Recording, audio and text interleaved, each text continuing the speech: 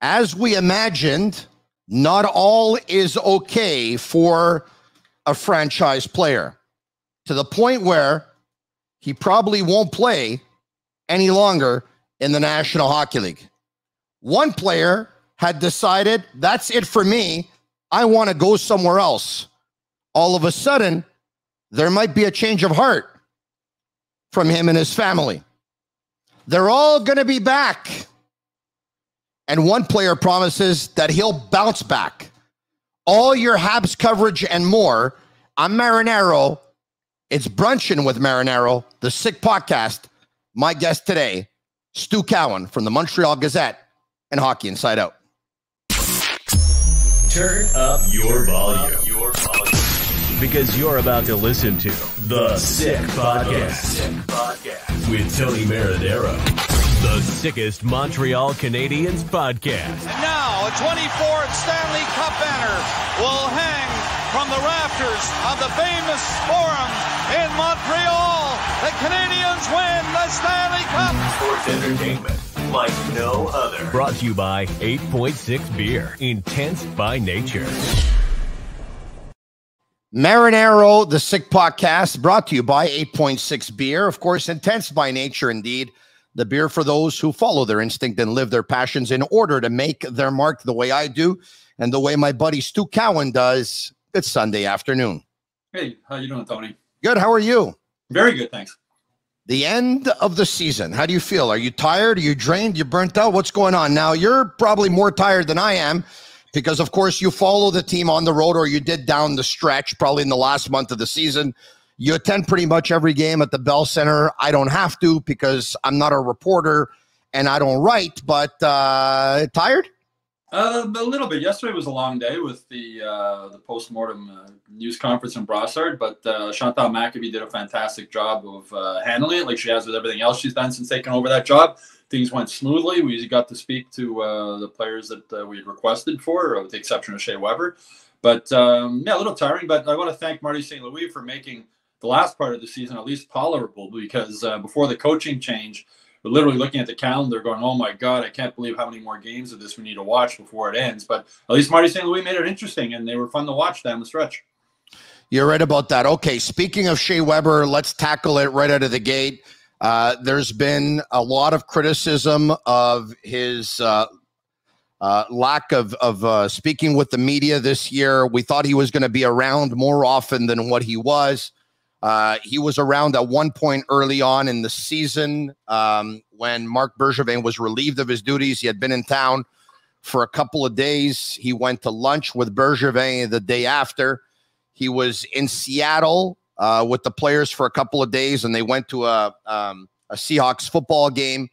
Uh, he was in Vancouver, where he resides in Kelowna for the rookie dinner. And he was here for Fan Appreciation Night, which was the final game of the regular season, and probably for medicals as well. Uh, there's been a lot of criticism that he wasn't there on opening night. There's been a lot of criticism that he wasn't there on Guy Lafleur tribute night. And before we get to our respective opinions on it, um, or our respective opinions on it, why don't we hear from Kent Hughes, who was asked about uh, Shea Weber's um, lack of being around? Um, he was asked about it yesterday. Let's see what he had to say.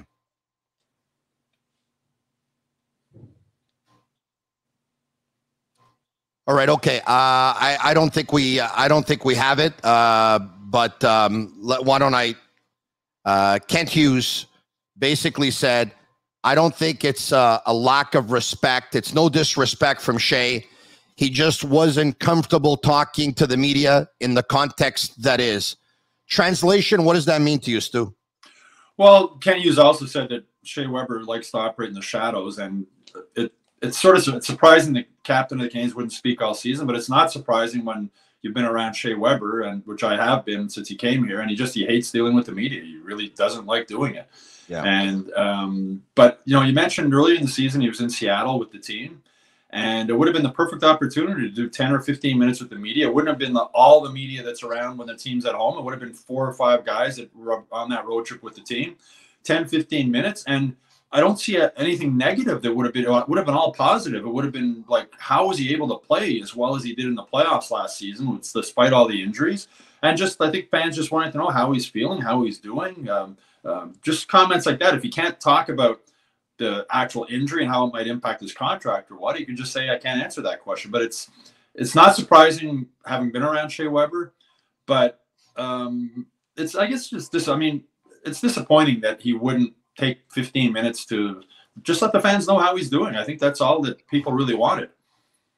Yeah, Stu, I don't disagree with you. I've given my opinion on it. I know a lot of people don't agree with it, and that's fine.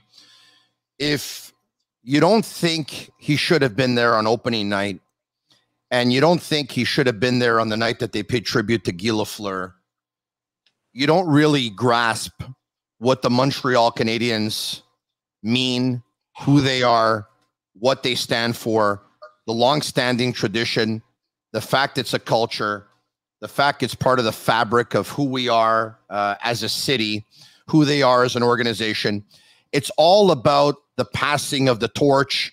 It's all about the example, and and um, I think I think he dropped the ball. I Well, think Tony, he dropped the ball by not being there opening season. I think he dropped the ball by not being there the night they paid tribute to Guy Lafleur.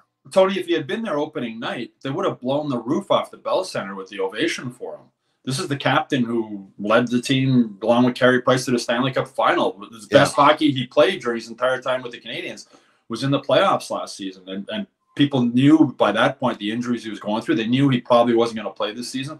They knew his career might be over, and it would have been an amazing send off for him. They would have blown the roof off. Instead, Yeah. when he did come out for Pierre Gervais' night on uh, Friday night at the Bell Center, the reception was lukewarm at best, and there was a smattering of booze around. And it's just, Yeah, I don't understand. Like, I, I know for the Canadiens PR department would have loved for him to speak, um, but he chose not to, and that's just Shea Weber. I don't think he. Re- Shea Weber's one of those guys who does his own thing. I don't think he cares what anybody else thinks, Yeah. whether does or fans or anybody. Just does his own thing, and and that's what he did. So I mean, no, people like as a, personally, I don't care if he talks to us or not.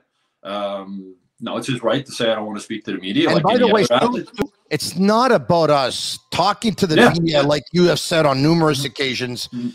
is talking to the fans that's Mhm. what it is and by the way change of plans by him as i predicted there would be by the way i don't think i'm alone uh, but he was supposed to come in for a couple of days instead he's going to be extending his visit because he's going to be attending Guy Lafleur's funeral and stu you could just imagine uh, members of the Canadiens organization, and we know how much of an influence Chantal is having. Mhm. And Chantal has been around for a long time, grew up here, understands the culture and the tradition as good or better than anyone else.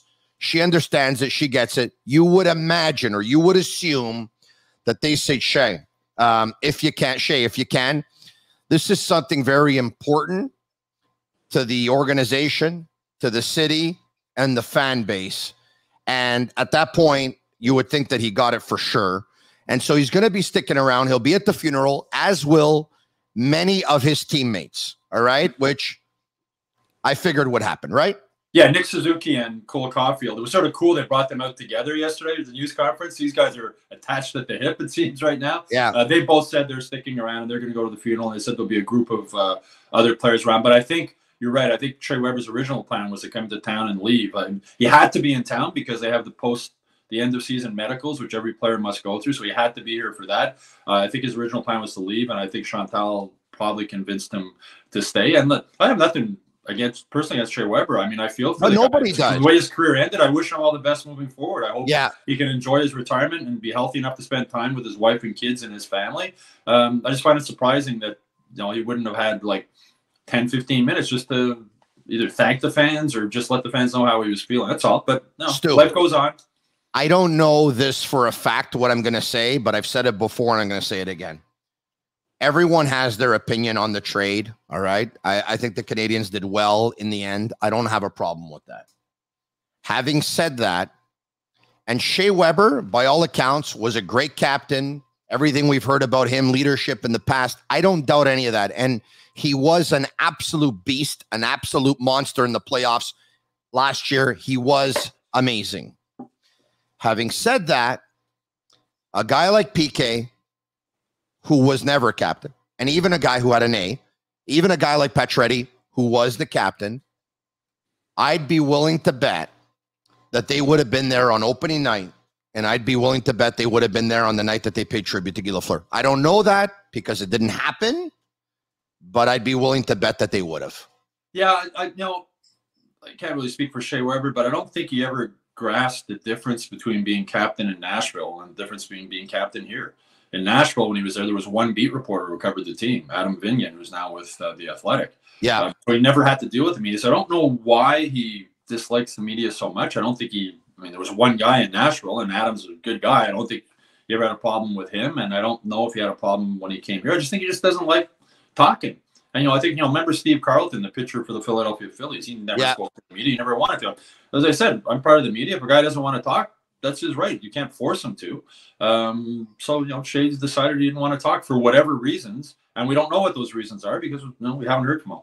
Follow us on all social media platforms. If you haven't subscribed to our YouTube channel yet, subscribe because as soon as an episode is uploaded or it goes live, you will be notified on uh, on your tablet or on your phone or whatnot.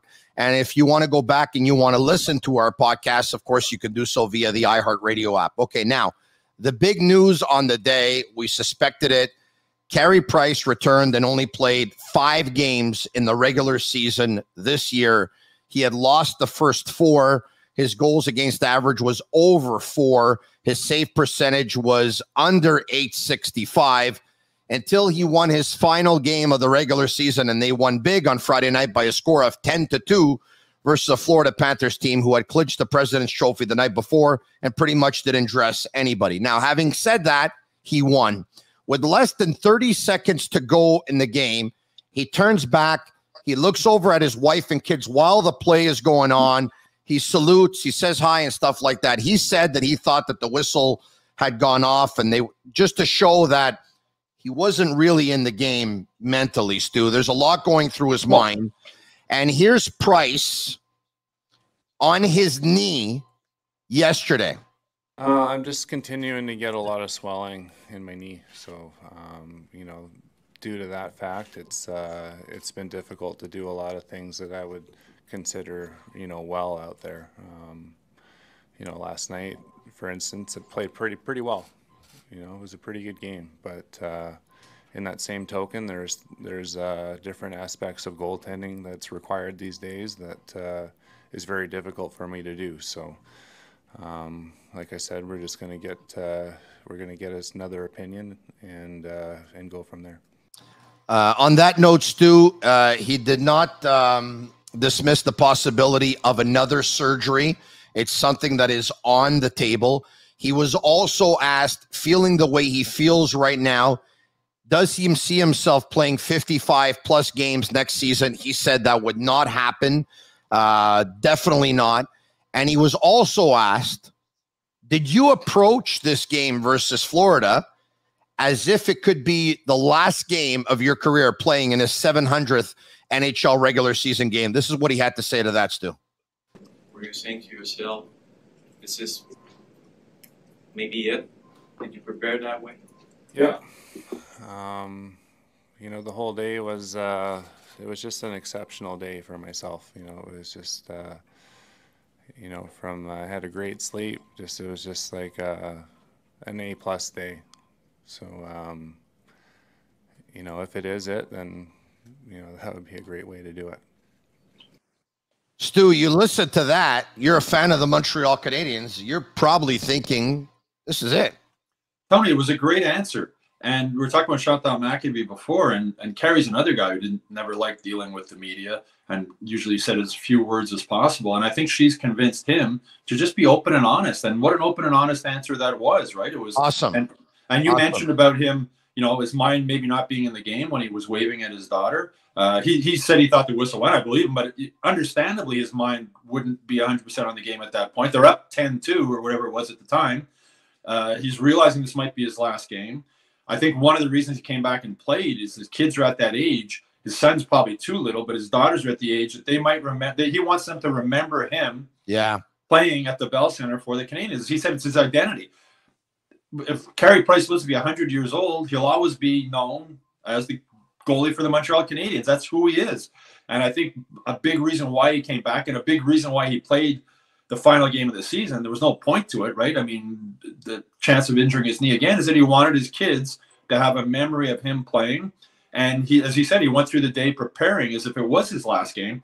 And it was really refreshing just to hear Carey Price talk openly and honestly about what he was going through. And Chantal said when she took over this job, one of the things she wanted to do is let the fans fall in love with the players the way she fell in love with Guy Lafleur.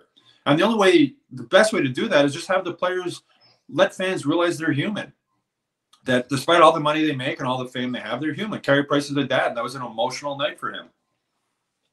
Uh, it really was. Um, we're going to get to all of your questions, by the way. So if you want to send them in, start sending them in now. Not all of your questions, but we'll try and get to as many as we can.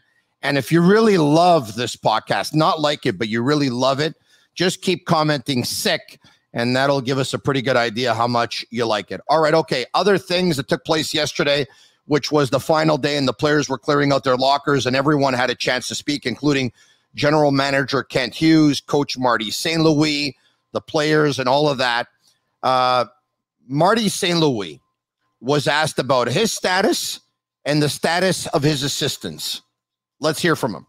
Pour maintenant, je suis content avec les gars que j'ai. Euh, puis euh, je vais continuer comme ça. J'ai confiance en l'expérience de ces gars-là. Pas, euh, pas, pas juste sur le côté coaché, mais ça fait longtemps qu'ils sont dans le hockey. Puis ils ont joué récemment aussi. Puis je pense que c'est important.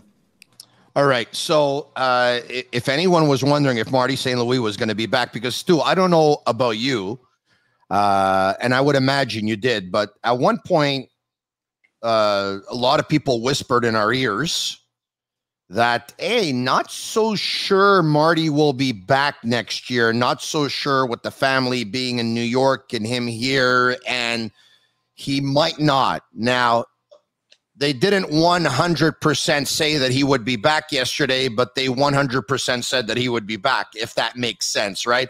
Kent Hughes said it's not official. He expects it to be done very shortly.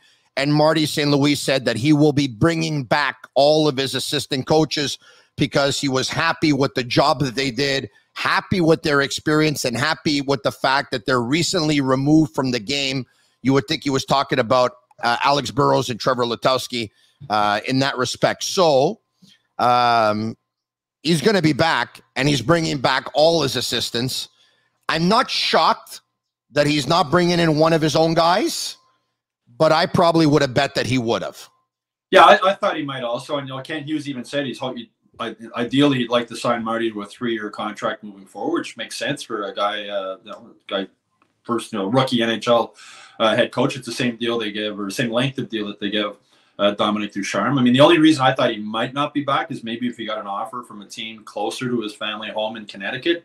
Uh, he was asked yesterday if you know if he'll move his family to Montreal, and he said that's not the plan. His wife and kids will stay in Connecticut.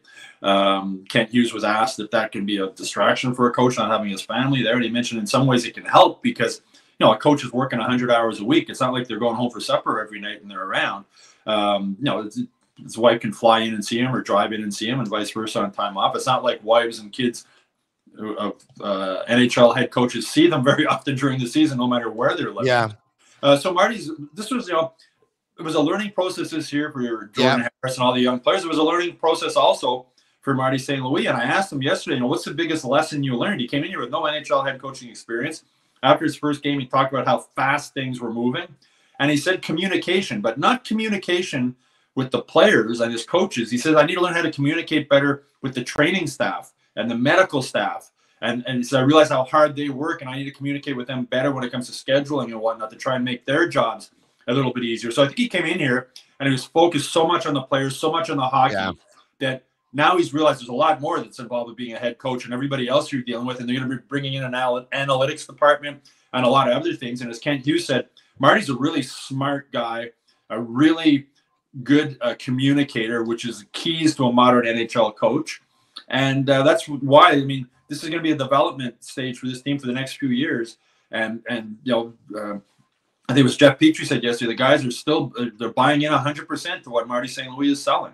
The rookies, yeah. the veterans, and whatnot. So moving forward, that's a, a big thing. Jordan Harris spoke this week about what a relief it was for him to have Marty when he first got called up say, "You're gonna make, you're gonna have three or four plays every game. You're gonna want back. You're gonna make mis- Don't worry about it." And he said, "What a relief that was for him." To know that if he makes those three or four mistakes in a game, he's still going to be back out there. He's still going to be playing. As St. Louis said, there's no such thing as a perfect game. The problem is if the player makes the same mistake over and over and over, then you have to deal with that. But no, nobody, as he said, nobody in the NHL ever plays a perfect game. The good news uh, for him, of course, is that he still has his dad here and he's got his sisters here and he does have family here. So, which probably makes it a little bit easier. Okay. Uh, we are going to get to more audio between now and the end of the show. We're going to hear from Jeff Petry and we're going to hear from Brendan Gallagher, among others. But why don't we start taking some questions and we'll get to those uh, that audio a little bit later on. Just one thing, one thing quick though, I just want to add. We talked about Marty's dad. His dad's a hockey nut, right? Just like Marty. Yeah. So I'm sure he's enjoying being able to call his dad after the game or go visit him, maybe have a beer and just talk about things and bounce things off him. So that's Yeah. uh, that's that's a pretty cool thing for him to have here. Question from Paul Savard for Stu Cowan. If Price retires, how does it affect the cap?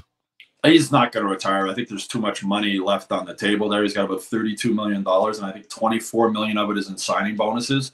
I'd be shocked if he was to walk away from that much money. Um, I I think, think I'm it's more like 42 million. Is it not 10.5 times four? Well, it's no because he's not. He only makes. He made two million, I think, in real salary this Oh, year. yeah, yeah. It was, uh, it was, uh, it was front loaded with bonuses. contract- Yes. The rest of his contract is nearly all signing bonuses. I think he makes two million in base salary the last three years, but it's it's a lot of signing bonus money. I don't think he's going to walk away from that. Um, I think the most likely scenario at this point is if he does have another knee surgery, then his career's over. He goes on long-term uh, injured reserve, and he gets his paycheck, and the Canadian, the insurance policy the Canadiens, I'm sure, have on his contract pays him, and life goes on. But uh, uh, no, I, I hope for Carey Price. I wish him all the best moving forward because uh, it's been a rough time for him. And the thing we forget too is, you know, I'm in my, my late 50s. I still have my career going uh, ahead of me. Uh, uh, these guys, they're so young when it comes to an end, and there's a lot of life left after their NHL playing career. Yeah. And it's a it's a tough adjustment going from the lifestyle they lead and the money they make and everything else to all of a sudden it's over. And when it ends, it ends quickly. So I wish Carey all the best moving forward, whatever happens with him. Stu, uh, when you think of it, 15 years as the goalie of the Montreal Canadiens. That's like a 25 year career somewhere else, maybe more. I mean, I can't imagine the amount of pressure that he's in day in, day out, the scrutiny, the fan base, jerks like myself, things he's got to read in the paper and on social media and stuff like that. Um, you know, he's got the highest pressure job of any player in the National Hockey League. And, you know, if he wouldn't want to play anymore, and I don't know if he does or if he doesn't, okay, but let's just say if he wouldn't, because he, he talked yesterday about being home, how much more of an appreciation he has for his family and life in general. And it does play itself out on long term injury reserve and knowing where the Canadiens are in this juncture and knowing where they want to go, it probably would be kind of like a fitting way to end things where it's kind of like good for everybody. You understand what I'm getting at? I, I do. I do. Yeah. I mean, it'd be, you know, Carey would still collect the rest of his money. He, he can move on, as he mentioned yesterday, you know, spending so much time with his family. You realize the, how important family is and, and the priority that has to be. Um, you know, when he came here, you, gotta, you talk about the spotlight he was under for 15 years. He came here from the middle of nowhere in BC, little tiny village, and thrown into the spotlight here. In hindsight, I'm surprised Bob Gainey, the GM at the time, didn't have him live with another player or live with him or live with somebody. Uh, you know, he had he had some growing pains off the ice and on the ice. I think that was a mistake, by the way, and I thought Oh, it was but a mistake I when it happened. understand. I don't understand why he wasn't living with Gainey, like sort of what Mario Lemieux did with Sidney Crosby. They Look at basically- Gallagher. Gallagher lived with Gorges, and look That's at right. the, look at the professional Gallagher turned out to be. With all due respect to Price, but um, Gallagher is just he's impeccable. Well, and, and Carey came here, I said, from the middle of nowhere in BC, and all of a sudden in the big city, a big, good-looking kid with money and fame, and a woman are pulling him one way, and guys are pulling him another way, and everybody wants a piece of him. And I, he wasn't. I don't think he wasn't ready. I mean, what 18-year-old or 19-year-old is ready for that? Never mind a guy who came from such a little small community, and um, he's grown up in front of our eyes. Yeah. all the good and the bad we've seen. Um, you know, now he's a father. He, has got three kids. His, his priorities are, are Yeah. different.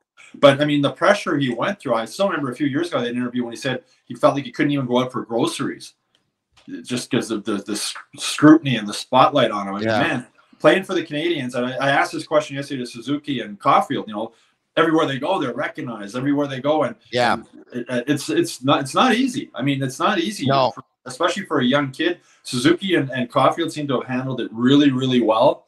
Um, and you know, Suzuki said you just got to embrace it and, and realize how much passion there is Yeah. in the city and this province for the Canadiens. But it's it was a it was a difficult adjustment to life in Montreal for Carey Yeah. Price. And as I said, we've watched him grow up in front of our eyes to who he is now with his wife and his three kids who were there watching him play the other Yeah. night. You know, Stu, it wasn't easy for me either growing up here, 17, 18, 19, the brown curly hair, the bluish green eyes, women pulling me from everywhere too. I, I had a hard time really trying to deal with it. Well, Tony, believe it or not, I used to have long blonde hair, but when I went out on a Friday night, I ran out of money by about midnight, so I had to go home. NHL players don't run out of money, and they can't even, half the time they can't even buy a drink because everybody wants to buy it for them. All right. Okay. Back to the questions we go. We're having fun on Brunching with Marinaro. Uh, let's go. Uh, the sensational uh, Void says, Hey, Tony, is this the end for Carey? Do you think he deserves to have his number retired? No cups, obviously, but has any goalie worked harder and saved our behinds more than he has over the years? Okay. Whew. Because I've, you you know, I have to answer this. I'm going to answer it. I'm not going to lose sleep if they retire his jersey. The amount of games played is there the amount of wins is there. The average or the numbers on average in terms of save percentage and goals against average is there. The longevity is there. And I realized they never really surrounded him, with the exception of one or two years, with a team that can go very far. I realize all of that. Having said that, for me, there were too many ups and downs not enough consistency. He was stellar one year, very, very good for a couple of years, but there were too many lows. There were a lot of losses. There were obviously no Stanley Cups, uh, which is no fault of his own. If they would have won the cup last year, it would have been a lot easier, Stu, to say you could retire his number because for them to win it, Carey Price would have had to steal it from Tampa. I'm going to go with no to his number to be retired. I will go to yes to honor him in the um, what is it called, the ring of or Honor, I think it is, yeah. the, the ring of honor or whatever it is. Uh, but I'm not going to lose any sleep should they retire his number. Your thoughts? I agree with you, Tony, because if you're going to retire Carey's number, you got to look back. Steve Shutt tied for the team record for most goals in a season. A lot of Stanley Cups. His number's not retired. Jacques Lemaire's number's not retired. Um, but I understand the younger generation of Habs fans who would want Carey's number retired, who would want Saku Koivu's number retired. When I grew up, there was so many stars in the Canadiens: Larry Robinson, Serge Savard, Ken Dryden, Guy Lafleur. There, it goes on and on. The Hall Guy. Lapointe. List, well, Guy Lapointe was my favorite player. And Yeah. he wasn't the best player on the team. I love Guy Lapointe. He's a Hall of Famer. His number's Yeah. retired. Uh, but the younger generation have, have never had that. They, the only two guys they've really had that were legitimate, I guess, no, even to consider for that are Saku Koivu and Carey Price. Never, neither of them. I mean, Saku, I don't think ever won an individual award. Um, he would have won the Masterton one year, I guess, when he came back. He did. he Um, won the Masterton. Yeah. Yeah, Carey Price, you know, won the Vez, won everything except the Stanley Cup. But the standard, if Carey was playing for any other team in the NHL, it's a no-brainer. Okay, he's going to get his number retired. But when you look at the standard set for the Canadiens for numbers retired, and some of the guys whose numbers aren't retired Yeah. from the glory years, um, I think it'd be hard to retire Carey Price's number. think But I agree, good way of him and. Koivu deserve to be in that Ring of Honor Yeah. uh, at the Bell Center, and, and I understand why young fans Yeah. would believe that their numbers should be retired because they were their heroes. They're, they're the only two Yeah. really Habs heroes the younger generation of Habs fans have had. I think that's a good way of uh, putting it, Stu. He probably plays for any other team in the National Hockey League, and he has his number retired. But Montreal is a different standard. All right, uh, Jeff Petry. Let's get to the audio now. We know that uh, in the middle of December, he asked for a trade because of a family situation that his family was finding living in Quebec, especially with with the pandemic, was very difficult. They went back to Michigan. Uh, Kent Hughes admitted that you know uh, they were trying to move Jeff Petry at his request, but we're only going to do so if it made sense for both parties. Petry played really well down the stretch, uh, and he was asked if by any chance there could be a change of heart, and he left the door open. Listen carefully. You know, for me right now is, um, you know, gonna take some time, um, just reflect on the year, uh, get back to my family, um, you know, have a have a long conversation with them, um, you know, but I don't want to, you know, I don't want to close the door on uh, on this organization or this team um, right now. So, you know, just to some take some time um, and reflect and um, you know decide what the what the best decision would be for for myself, my family, and this team. All right, sporting an MTL cap the way you saw him, Stu. Uh, I was convinced. I think I almost guaranteed that um, Jeff Petry would not play a game for the Montreal Canadiens next season and would be dealt in the offseason. But Kent Hughes admitted yesterday hey, if you think I'm going to take three rookies and have them in the lineup on defense at the same time, you're mistaken. I want my young defensemen to develop. And if some of them are going to be here with the NHL team, they're going to have to be insulated with some veterans and some older players on defense so that they can develop properly and we don't burn them. And if we trade Jeff Petry, we're going to go out and try and replace Jeff Petry. So, with that said, if Petry goes back to Kent Hughes and says, Hey, listen, I spoke with my family and we've decided to stay in Montreal after all, probably going to keep him. Yeah, I'm going to defend Jeff Petry here, Tony. He's taken a lot of heat this season. I've, I've, dealt with before COVID came. I dealt with Jeff a lot in the locker room, and that I really liked him. I've written before. He, he came across to me as the kind of guy you'd want your daughter to marry.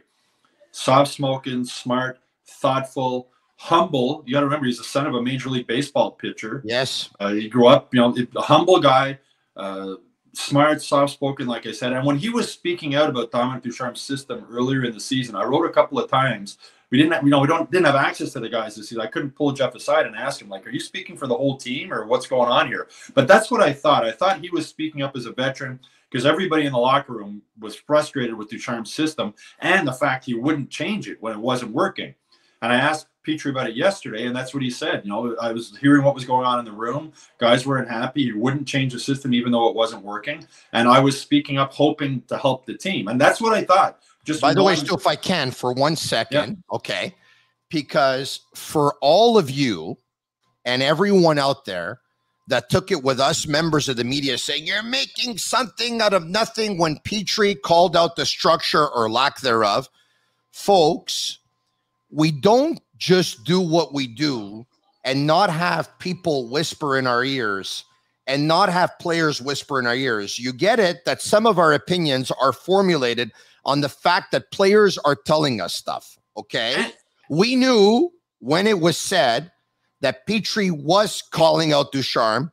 Petry was upset with Ducharme. The team did not like the system they were playing. And Petry yesterday, because sometimes players can admit it, sometimes they don't.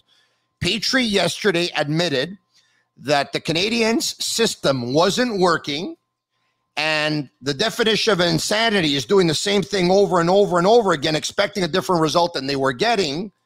And he said w- there was no adjustment made to that, and it was very frustrating. So please don't say that we make something out of nothing. We know what we're doing. He also mentioned how much they missed uh, Phillip Danault and how much that hurt the system that they had wanted to play. But this wasn't a case of Petry whispering in my ear because we had no access to the players since COVID. This was a case of me getting to know Jeff a little bit in the locker room the previous seasons he was here and just realized it was very unlike him to speak so publicly against the coach's system. It was unlike him. It's, it's, it's not in his character. But he was speaking up for all the other guys in the room. And I'm sure when he was saying it, the other guys in the room were like, thank thankfully somebody's letting the fans and everybody know like what the the issue is here. And you got to remember too what Jeff Petry talking about. He had that the COVID restrictions. He spoke about this yesterday. He's got three young boys at home, and his household is. You know, you have two boys. You know how crazy a household could be. Yeah. The fact of the COVID restrictions, his family and his wife's family couldn't come here to help them out with the kids or whatever. They couldn't go there. His wife got frustrated with all the COVID restrictions. She had a bad experience in a Costco language uh, related, and it was just everything piled on, and they had enough. But this is a guy and a family who twice he was an unrestricted free agent. He never even tested the market. They wanted to stay in Montreal. They never tested the market. At a time when free agents didn't want to come here, he was a guy who liked it here. His family lived on the South Shore. They moved, I think it was like last year or the year before, they moved uh, downtown to the downtown area. From Candiac to Westmount. They really liked it. They had their kids put into a good school or preschool. Like everything was, they, they were happy here. They liked living in Yeah. Montreal. And he mentioned it yesterday. And Jeff Petry isn't a liar. Like he, he, he spoke yesterday about how much, and now everything's changed. The His wife, is, his wife is best friends with Carey Price's wife. the coaches changed. The COVID restrictions are down. Um, they've had a time to step back, and as he said, he's going to go home and sort of take in everything that's happened this season. And I, I believe that if I think he might go to Kent Hughes and say, "Look, if you want to trade I understand. You know, I asked for a trade. It was me who put it out there, but I'd really like to stay here if you guys want to still want to have me. And I wouldn't be surprised if that happens. And 6.25 for the next three years. It's not the end of the world. It's not. And you got, as I said earlier, you know, these guys are also humans. And everything that was going on, he was living at home. He wasn't with his wife and his kids. And as I mentioned earlier, he's, he's always struck me as a guy you'd want your daughter to marry. And just seeing him before COVID interacting with his three boys outside the Canadiens' locker room uh, when they were doing their stretching, and the boys were right in there. And there's been a lot of videos on uh, the Canadiens' Twitter account and YouTube of him at home. And he just seems like Yeah. a guy who, I'm sure it was, imagine you, Tony, being, doesn't matter how much money you make, you're away from your wife, you're away from your kids. It's not easy. And this was just a really difficult season for Jeff Petry. And I think he's going to take some time now and step back. But I wouldn't be surprised if he goes to Kent Hughes and says, look, if you guys want to keep me, I want to be here and I'm going to be the best player I can be for this franchise moving forward. Yeah. I- Listen, either way it goes, it wouldn't surprise me. Back to the questions we go. Uh, morning. Uh, hey, Tony from Rockland, Ontario. I'm a Montrealer. If the Habs get first overall, would you consider trading the pick for a star player if you were the GM? Long story short, Stu, if they get first overall, would you trade it for Alexis Lafreniere? I would definitely, yes, yes, I would. I would. Definitely, yes, you would. Yeah. Yeah. Well, well, listen, um, it would reinvigorate the fan base. I mean, you know, at a time where you know they used to be the Flying Frenchman. Can you imagine having a Lafreniere on a first line? I think it's something that they would look at, and I think it's something that they would definitely consider. You're getting a Uh, 20 year old kid with two years of experience in the NHL. I think he had 19 goals this season, if I'm not mistaken. Yeah. Uh, not playing on the number one liner, that um, you know, it'd be a lot of pressure for Lafreniere coming here. But um, you know, there's no, you know, Shane Wright is like. I'm, I'm not going to pretend I'm an expert on Shane Wright. I've seen the guy play a couple times on TV. That's it. I don't know how good he is or what his weaknesses are or whatever. I just know what I read from people who do that for a living, following these guys. But Alexis Lafreniere, there was no doubt that he was the number one pick uh, coming into that year's draft. He's played two years in the NHL. He's a big guy. He's big, strong. Um, yeah, I would, I would do it. All right, okay. Uh, should be noted that the NF, the NHL draft lottery will go on Tuesday, May 10th. You know what May 10th is, eh? What's that? It's the anniversary of Guy Lafleur's goal versus the Bruins in Game Seven in the playoffs, 1979. On May 10th. Yeah. After, You know they scored, 10, after they scored 10 goals in the final game of the regular season. There's a lot of weird stuff going on, man. You know what year Lafleur was born, eh? Uh, I need to do the math. 51. You know what number Shane Wright wears?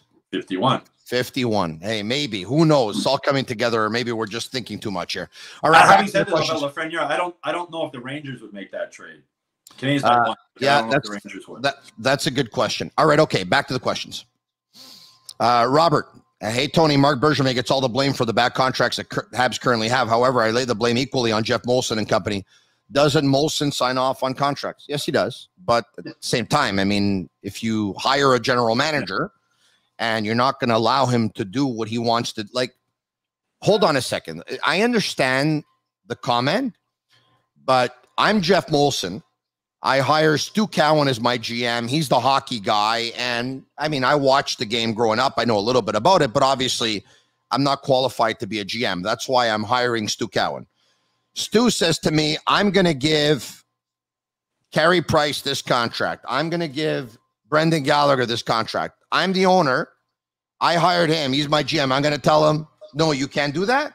Well, then Stu's going to say, well, then I can't be your general manager. I, I mean, come on, you can't do that. No, well, the good thing now, Tony, is at least there's somebody between the GM and Jeff Molson. I Correct. Mean, Jeff Molson had no qualifications to be the what basically he was the director of hockey operations, right? Before they brought in Jeff Gorton. I mean, you know, never played in the NHL. He's a businessman, right? He was born into a family, runs a Molson brewery, and he had money to buy the team. That's yeah the qualifications he has now with Jeff Gorton. Now, now be Kent Hughes if he wants to sign whoever to a contract. He's going to go to Jeff Gorton and say, "What do you think?"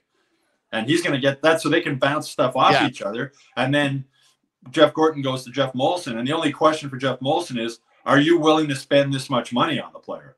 That's the only. That's you know, yeah. And if Molson's if he's telling them spend to the cap, do whatever you want, which was what he should do as an owner. As an owner, you hire the you hire smart people and you let them do their job, and that's yeah. what's happening. Finally, now that's what's happening with the Canadiens. They've hired really smart people in Gorton, Hughes, and St. Louis. And Jeff Molson just put his feet up on his desk and let them do their work. And have the, if you have any problems you need me to deal with, come yeah. let me know. Otherwise, you guys are in charge. I think the two-headed monster and hiring Gorton, who hired Hughes, is as probably the, the most brilliant thing that Jeff Molson's ever done.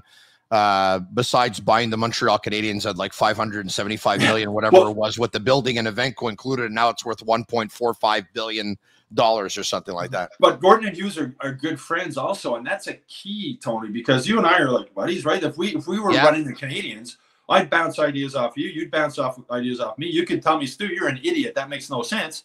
Yeah. Or vice, I'm going to respect you. That's the that's the the relationship yeah. these guys have. They're both smart hockey guys. One guy from the agent background, one guy from a management background. Look at what Gorton was able to do in Boston and New York. He has a track record that shows he can rebuild a team, and they can they can talk. And St. Louis, the three of them are buddies, so they can sit in a room, have a beer or whatever, and bounce ideas and say you're an idiot. That makes no sense. But they're no hard feelings because they respect each other and they respect their opinions and they can talk to each other as friends and disagree with each other. And then at the end of the day, Jeff Gorton is the director of hockey operations. He'll have the final say on what happens. By the way, Stu, uh, if you ever get a job in the National Hockey League, I appreciate that we're buddies, but you know what? Uh, don't think of me, okay? Because you know I, am used to three, four hour days max. I I, I don't want to work 14 hour days. Not interested. All right. You can't afford the pay cut either, right, Tony? Yeah, probably not. uh, yeah, right. Okay. Uh, back to the questions. Jenny Potesta, based on how the team is trending, where do you see the Habs finishing next season? Um, I, I fear they're going to finish um, 20th. I want them to finish 32nd. No, I fear they're going to finish 24th, but I want them to finish 32nd.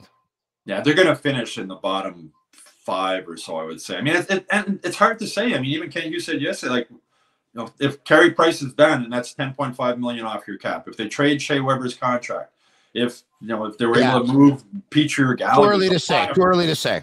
Yeah, it's too early to say. I mean, and even Marty St. Louis, we asked them the other day, you know, are your are your concepts going to be the same next season as they were this season? You know, this season he talked about how it wasn't that important winning games; it was more important to develop guys, et cetera, et cetera. He's, you know, he's asked, is that going to be the same thing next year? He's like, I can't tell you because I don't know what the team's going to look like next year. If it's a young team again, with just young kids. That yes, that will be that it'll be development. But yeah, if there's all kinds of guys leave and and Hughes goes out and brings in two or three new free agents, and uh, you know if Carey Price is is really healthy and can play, it seems unlikely. But we don't know who the goalie is going to be next season. We don't know who the captain's going to be next season. We don't know who's going to be here, who's not going to be here.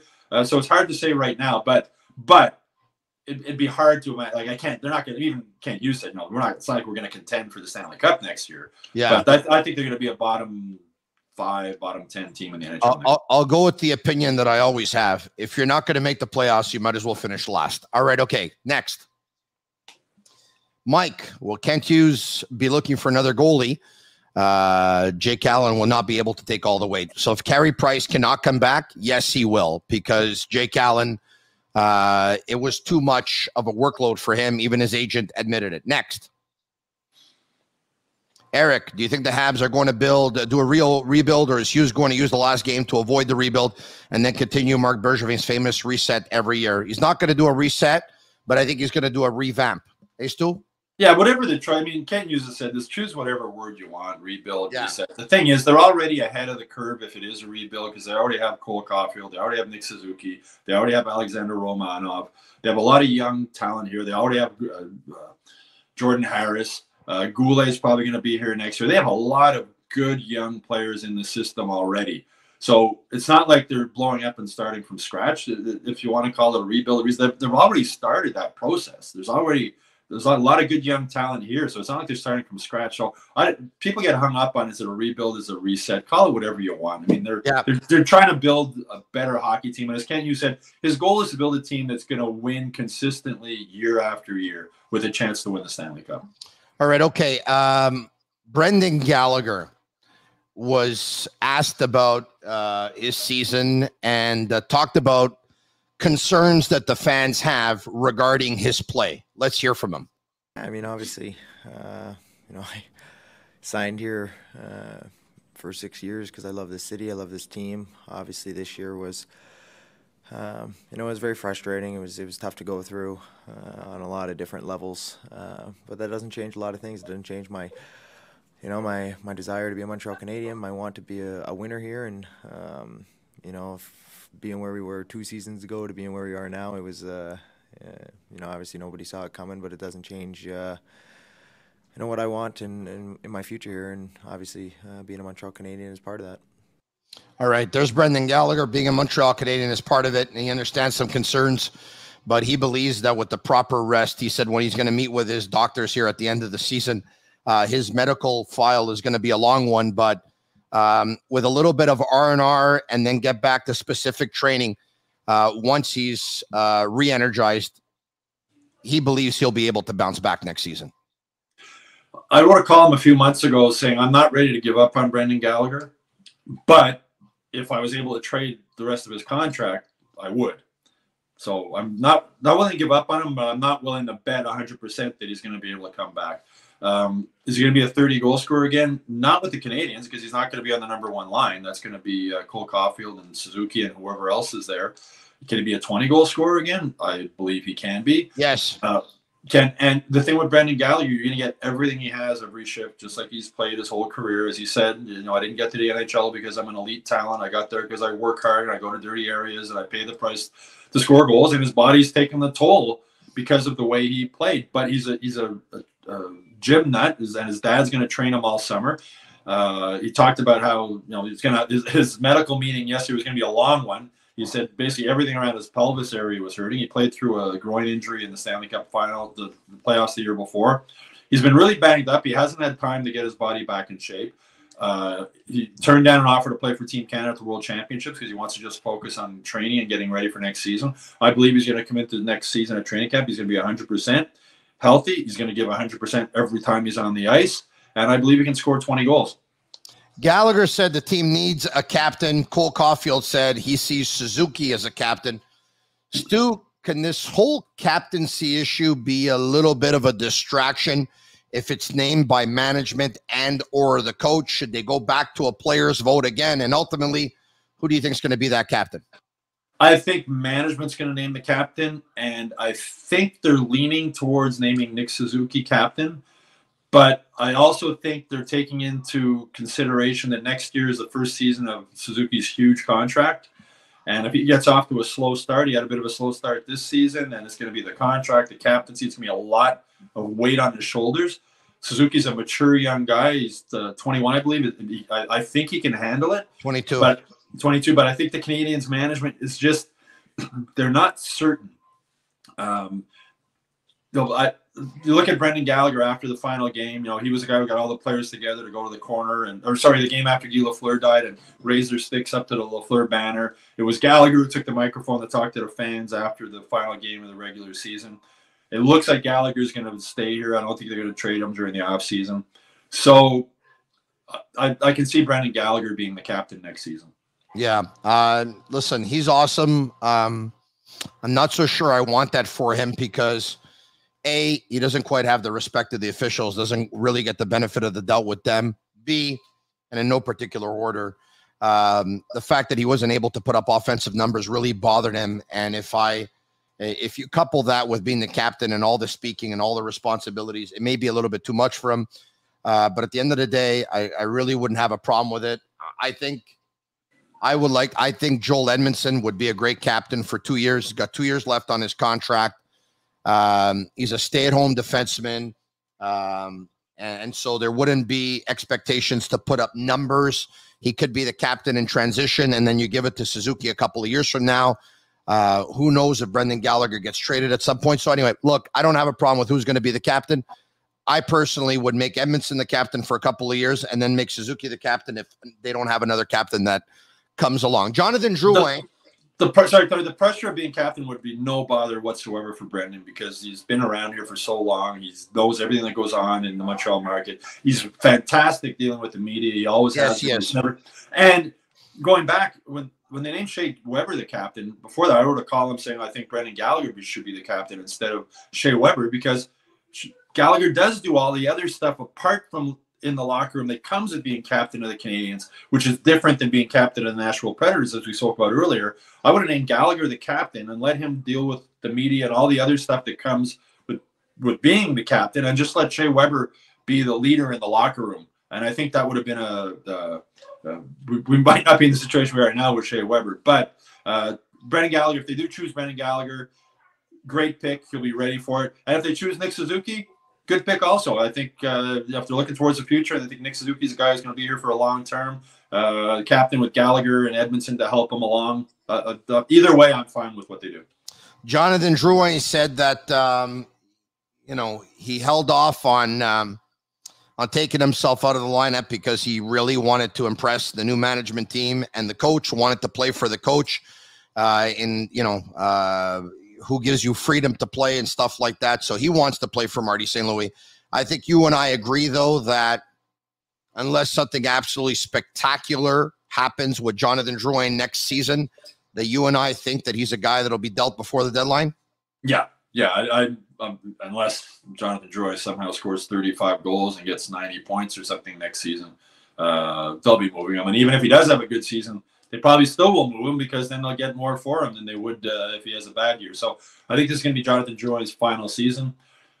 To defend Jonathan Joy, he played. He, he was okay this season when he was healthy. I mean, he was one of the few players in the Canadiens who was you know putting up points and, and, and doing okay. I think he was leading the team in scoring when he got uh, went out of the lineup for the first time.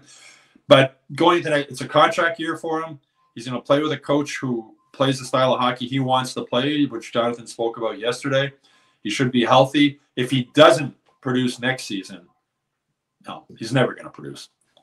No. All right. Okay. Back to the questions. Marvin, a lot of excitement over the potential of young players like Suzuki and Caufield, who, in your estimation, would be the next young player that fans should be excited about. Jordan Harris, I think, from what we saw about him, uh, you know, Goulet will probably make the team next year, I think, but he's more of a stay-at-home type defenseman, uh, younger version of Shea Weber, which people have uh, who watched him play junior more than me have, have compared him to. Um, but Jordan Harris is, is a you know the confidence he's played with the puck, the way he can move the puck and skate with the puck. Uh, he's going to be a lot of fun to watch for for a long time. He's a really smart kid. Yeah, he's a lot of fun to interview. He's going to be interesting to to speak with him moving forward. So yeah, I, I'm excited to watch Jordan Harris and what he can do moving forward. I'm going to go with Romanov. I think he has two, maybe three other levels that he can get to by the time he really gets into the peak of his career. Let's not forget, still relatively young and early on in his career. Uh, I think he made huge progress, especially in the last two months of the season. So I think Romanov still has a couple of levels that he can get to. Well, after Cole Caufield's second half of the season with Marty St. Louis, to me, Roman Romanov was the story of this season. He he's just he improved so much. He had so much ice time, which is going to help him moving forward. He spoke yesterday about how much he loves being in Montreal, loves playing in Montreal. This kid's going to be a really good defenseman for a long time. All right, more questions. Probably give or take five minutes left uh, on this brunching with Marinaro. LJ Lafleur, uh, Tony and Stu. Toronto gave away a first round pick a few years ago in order to get Carolina to take Patrick Marleau's contract off their hands. Do you think the Habs would be willing to do the same in order to get out of Weber's prices or Gallagher's? No, I mean Weber's not playing again, so it's either. Although, and Ken, you spoke about this yesterday. There's insurance issues and there's NHL issues involved, and the NHL issue is the NHL. I don't believe is signed off on Shea Weber just staying on long-term injured reserve until the end of this contract. That's something. That's a big reason why I think Hughes wasn't able to deal the contract Arizona before the trade deadline, and uh, Arizona took on Little's contract instead, which isn't as advantageous to the salary cap as Weber's contract would have been. Um, and same with Price. Price is either going to go on long-term injured reserve or he's going to stay with the Canadiens. He's not going to retire. And, and with Gallagher, Hughes basically said yesterday that Gallagher's going to be here. I mean, I don't think there's a market right now with his health and the contract. And as he said, he's just hoping Gallagher can bounce back next year and have a good season. And that's what Gallagher's hoping for also. Next. Curtis, does Pierre Luc Dubois make sense to pursue this summer, considering the issues in Winnipeg with uh, an speeding up the rebuild? Uh, Pierre Luc Dubois, uh, center slash winger, still relatively young, um, set to become an unrestricted free agent in a couple of years from now. So he becomes an RFA this summer, and uh, they can't come to terms on a contract in Winnipeg, it appears. So before they get to him going into the final year of his contract and then maybe losing him eventually for nothing, they may look to trade him. No, I'd be interested in him. But again, so much as Kent Hughes said yesterday, so much of the salary cap situation is tied into what happens with Price, what happens with Weber, what happens with Petry. No. Could you imagine uh, Suzuki and Pierre Luc Dubois at center if you can pull it off? Oh, yeah. Yeah. That'd be pretty good. Yeah. But then again, you could have Suzuki uh, and Shane Wright possibly if you get the first pick overall and you won't have to give up anything for Shane Wright. As for Pierre Luc Dubois, you'd probably have to give away several pieces. Yeah, but you know what you're getting in Pierre Luc Dubois, and you don't know what you're getting in Shane Wright. The NHL draft is a crapshoot. I don't care. Look look through the history of the NHL draft and how many of the top 20 picks are that you've never heard of. I mean, yeah. it's a crapshoot. You're drafting 18 year old kids point. trying to predict how they're going to become man in the NHL. Some can do it, and, and more more can't do it than can do it. All right, back to the questions. David, you think Montembeault can be a consistent backup goalie to Allen? Why go out and find another goalie if we are not contending next season? So you just said it. If they choose not to be a contender, yes. If they choose to be a contender, no. Would you agree with those answers too? Yeah, it's I, I don't think Montembeault is going to be back with the Canadiens. Um, I don't know if there's interest in another NHL team that might want to sign him. If not, maybe the Canadiens sign him and think about him and uh, Primeau and Laval next season uh, calling Montembeault up if there's an injury to Allen or whatever. But I don't think Montembeault is going to be one of the two goalies with the Canadiens to start next season. Next, Danny Desrosiers. Tony, what free agent should Montreal search for this summer? Should we consider bringing back the Toffoli? You're talking to the wrong guy. Uh, because, by the way, Toffoli still has time left on his contract, so he's not going to be a free agent, right? Yeah, that, that was one of the reasons that Calgary got him. Yeah. So you know, you're talking to a guy that wants a rebuild because I absolutely want I absolutely want Connor Bedard. So I'm not going after any free agent. Next. Uh, and if I can't have Connor Bedard, I'll take Michkov. And if I can't have Michkov, I'll take Fantilli. Uh, so I want a tank next year. Uh, Gaetan B, if Price and Petry come back, who's leaving? Well, I guess you're talking from a salary cap perspective. Uh, nobody. I mean, they're going to try and maybe move guys. Who are you going to move? I mean, as I mentioned before, I don't think you can trade Gallagher in his contract at this point. And uh, you know, who else are you going to try and move to free up space? All right, uh, maybe Armia. Uh, well, yeah, but yeah, yeah, yeah. I, I, think I think I think the NHL now knows what Joel Armia is. I, I I would think so. At that, contract, by the way, nobody's taking with that contract. Josh Anderson at that contract has to produce more. I understand he plays a certain brand of hockey that numbers don't say everything, but at the end of the day, numbers got to say something. His numbers are not good enough for a player that makes that money on that term. He's got to be more consistent. I mean, there's games you look at him and he's dominant out there, and there's other games you don't notice him. He's just he's got to be a lot more. And there's too yeah. many games you don't notice him. He's got to be more consistent. This is why I say that uh, people who are very consistent at their jobs and bring it every single day, those are the people that should be paid millions. Well, that's what that's why Brendan Gallagher's making money he's making, Tony. He, he, he brings it every he brings it every yeah. day, just like you do. I didn't say it, Stu. You did. All right, okay. Uh, two more, two more questions. Uh, Davis, should the Canadiens go for a position in need of best player available if Wright is off the board at number one? Best, uh, so in need or best player available? Best player available. Always. They went by position. They ended up with Jesperi Kotkaniemi instead of Tkachuk. Always. When they went for the best player, they ended up with Cole Caufield. Yeah, and you know what? Uh, if you draft the best player available, but you don't need that particular position, you can always take one of the players that you drafted at the best player available and trade for a player who plays the position that you need. You're always better off best player available. Last, uh, lastly, here we go. Mike, great show, Tony and Stu. The torch was passed uh, to Richard, to Béliveau, to Lafleur with a great tradition of excellence. Do you think there is someone who deserves to carry this torch going forward? Well, there's not going to be anybody I can't see at that level moving forward. I mean, it was a different era, a different time. Uh, you know, the francophone connection. These guys were larger than life. Uh, but Nick Suzuki is the guy who, moving forward at this point, is going to be the guy carrying the Canadian torch. If you love this podcast, comment sick, S I C K. Do so on all social media platforms. We actually go ahead and we count the amount of people who comment sick. So then we know there's at least that amount of people that love this podcast. So make yourselves heard. Stu, in ending, uh, Guy Lafleur is um, going to be exposed today at the Bell Center. And tomorrow, uh, I, and the funeral will be at Mary Queen of the World Cathedral on Tuesday. Uh, I would imagine you're going. I'm headed to the Bell Center as soon as we finish this show here, and I will be at the funeral on Tuesday. And my condolences again to Guy and his friends and his family. And rest in peace, Guy. There'll never be another one like you. Uh, I will be going tomorrow, and uh, I'll see you at the funeral on Tuesday. And you're right, Stu. There will never, ever be another Guy Lafleur. We love you, Guy. Thoughts and prayers to his family. It's the Sick Podcast. Have a good Sunday, everyone. Take care. Thank you, Stu. My, my pleasure, Tony. And that's a wrap. Hope you don't miss us too much until next time.